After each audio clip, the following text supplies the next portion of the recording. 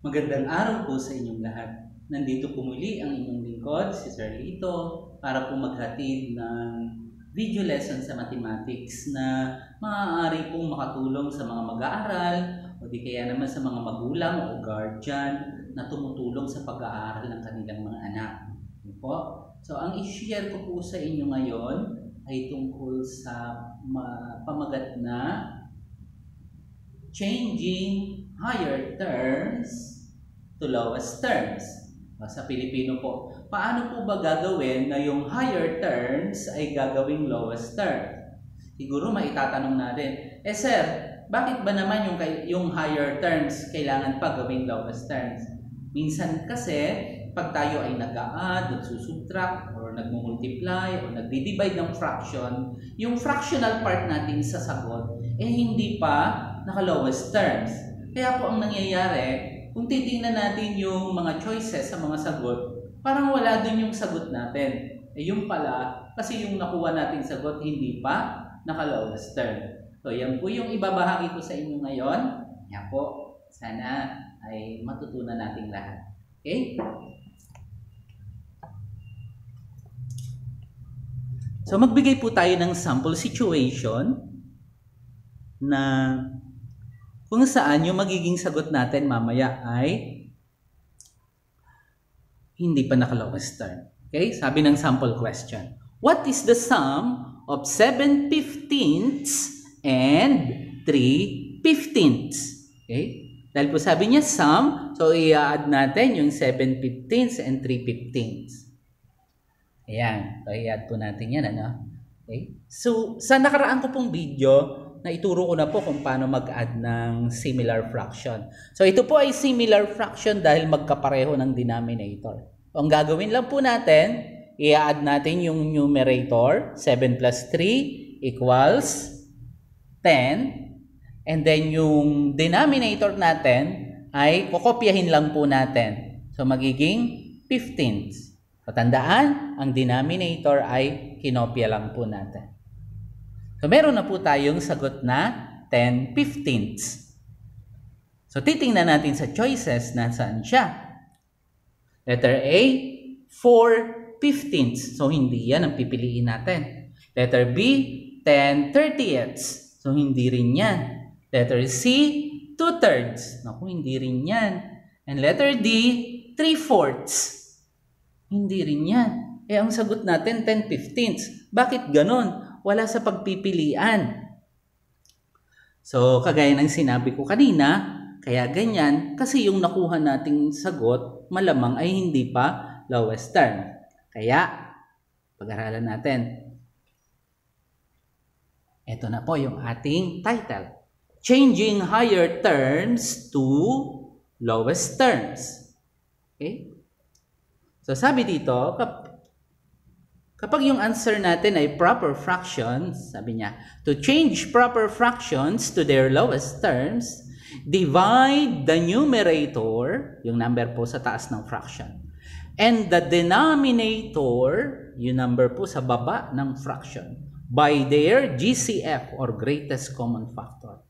Okay? Para po sa hindi nakapanood nung nakaraang video ko, ang greatest common factor po o GCF ay ang pinakamataas na number na pwede mong i-divide dun sa given number.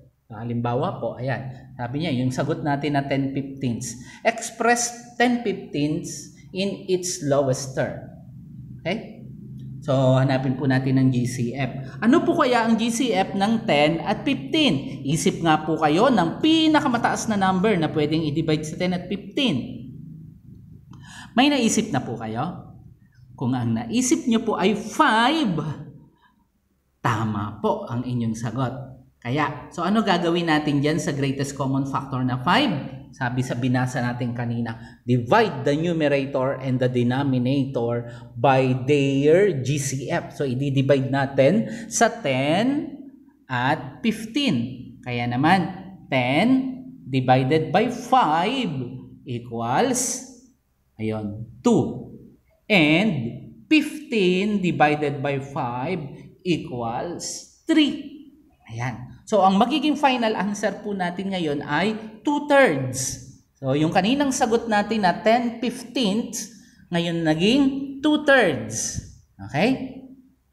Kaya, dahil meron na tayong final answer, tingnan na natin dun sa choices kanina. Meron na ba siya? Letter A, 4 fifteenths. Ako, hindi yan. Letter B, 10 thirtieths. Ay, hindi rin yan. Letter C, 2 thirds. Ayan. So, nag-match na po yung ating final answer sa pagpipili ang letter C. Kaya, pipiliin natin yung letter C. Naintindihan nyo po kung gaano ka-importante na marunong tayong uh, gawing lowest term, yung higher terms? No? Kasi kanina wala tayong makitang sagot. Yung pala, yung sagot natin na 10 fifteenths, hindi pa pala yung naka-lowest term. So, nung nakuha na natin yung lowest terms, ayan, nakita na rin na po natin yung sagot. Okay. So, naintindihan nyo na po ba kung paano yung higher term ay gawing lowest term? Para po mas lalo pang maintindihan. Okay? Magbigay pa po tayo ng isang example. Halimbawa po, ang atin pong fraction ay 12 24ths. Ayan. 12, 24ths. So, iisip po tayo ng pinakamataas na number na pwede mong i-divide sa 12 at pwede mo rin i-divide sa 24. May naiisip na po ba kayo?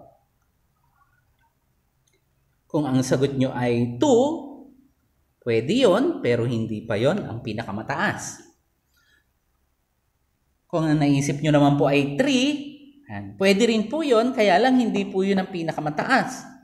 Pwede rin sila pareho sa 4. At pwede rin sila pareho sa 6. Kaya lang hindi pa po yun yung pinakamataas. May isa pa pong number na pwedeng i-divide sa 12, pwede rin sa 24. Alam nyo na po ba kung ano yon? Kung ang sagot nyo po ay 12, tama po ang yung sagot no? Ang greatest common factor ng 12 at 24 ay 12. So ano gagawin dun sa greatest common factor na 12? So i-divide po natin sa numerator at sa denominator. Okay? So divide na po tayo. 12 divided by 12 equals 1. And 24 divided by 12 equals 2. Ayan. So, meron na po tayong lowest term fraction mula sa 12 24ths naging 1 half. So, ito na po ang ating final answer. Okay. Natutunan nyo na po ba paano gawin ang higher term ay gawing lowest terms? Kung hindi pa po, maaari nyo pong ulitin ang video na to. At kung naintindihan nyo na naman po, so maraming salamat po sa inyong pakikinig. Ayan. Sana po meron kayong natutunan sa na-share kong video. Okay? Salamat po sa Diyos sa karunungang kaloob niya sa atin. Hanggang sa muli,